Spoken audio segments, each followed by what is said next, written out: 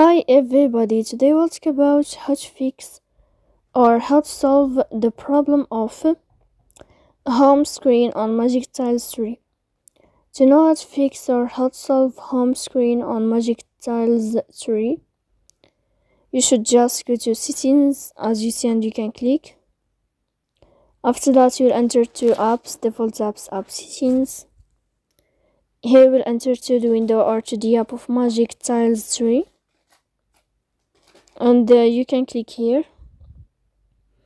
After that you can click on force stop and you can click ok. Here we'll enter to the window of storage.